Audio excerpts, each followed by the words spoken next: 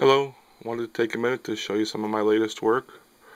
Uh, call it a bird and trout knife, uh, possibly a paring knife. It's made from O-1 tool steel, uh, heat treated to a Rockwell of 60. Uh, its overall length is 8 and 7 eighths. The blade length is 4 and a quarter. It's flat ground from uh, 75 thousandths stock, so it's real thin.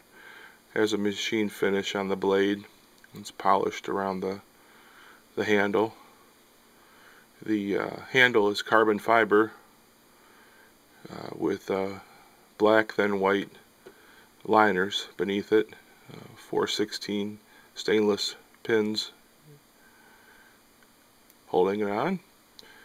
Uh, it's quite sharp.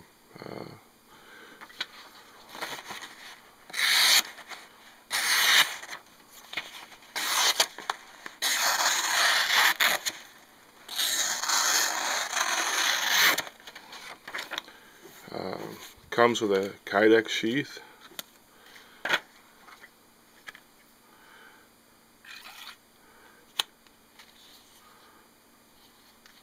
Its overall weight with the sheath is 3.4 ounces.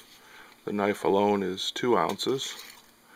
Uh, the fit of the sheath isn't doesn't have a, the strongest snap like a lot of my knives. Uh, the knife's just so thin and there's not a lot to snap around when you put it in. Uh, also, I can add a belt loop if you like. Uh, one like one like this, I can easily put on there, no extra charge if you like to use it that way. Uh, hope you like it.